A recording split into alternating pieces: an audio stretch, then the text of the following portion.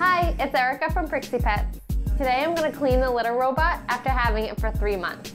I'm going to do it step by step so you'll know exactly what to do. The first step is emptying all the litter out of the box. You do that by hitting the empty button.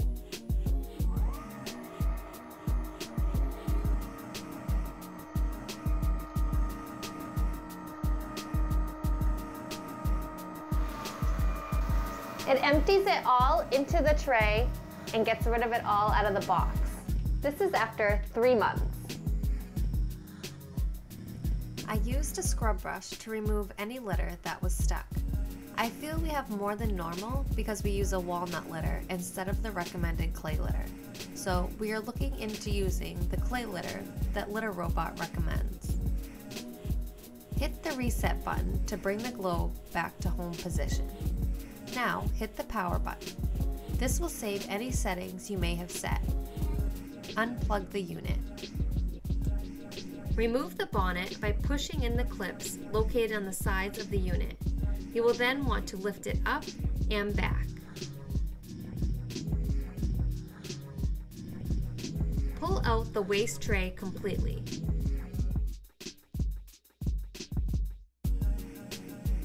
Remove the carbon filter and the bag full of litter and waste. Vacuum the tray if needed. Remove the globe from the base. Vacuum the base if needed. The base contains all the electrical parts, so do not submerge it. Only wipe it down with a damp cloth. We try and stay pretty green when it comes to our cleaning products. We use either hydrogen peroxide or a 50-50 blend of vinegar and water. Make sure to wipe down the drawer full indicator lenses located inside the base of the unit. Wipe down the bonnet. Using some mild soap and warm water, wash the waste tray, the step mat, and the carbon air filter. The filters are recommended to be changed every 3 to 6 months. Next, wash the globe in the tub. Again, only mild soap and water because chemicals like bleach can corrode the metal components. Before assembling the litter robot back together, make sure it is completely dry. The first step in assembling the unit back together is putting the filter into the tray. Make sure the top of the filter is under the clips.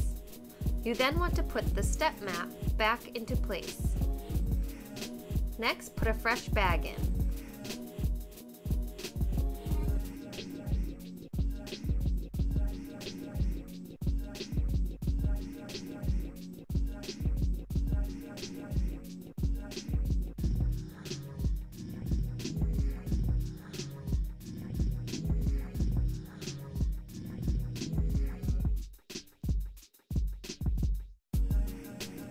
You can now return the tray into the base.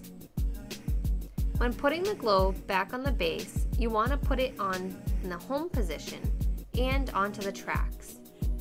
The key on the back of the Open Air 3 needs to be in line with the notch in the back of the base.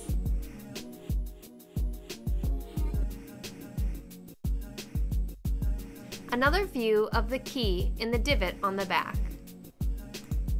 After cleaning the globe, the shield can get out of its track. To fix this, just pull it down so it goes behind the track and then let go. Place the bonnet back on the top of the globe by inserting the tabs into the back first. Then rotate it down and insert the clips into the slots until it snaps into place. Pour new fresh litter into the globe up to the fill line. Plug the unit in and hit power. The litter robot will cycle and then we'll be ready to use. Here she is, all clean and beautified. I hope you guys enjoyed this video. If you want a more detailed article that will be posted in the description below. And if you're interested in purchasing one yourself, we will have our coupon link there too. Um, subscribe if you enjoyed this video, and if you have any questions, please do so in the comments below. See you soon.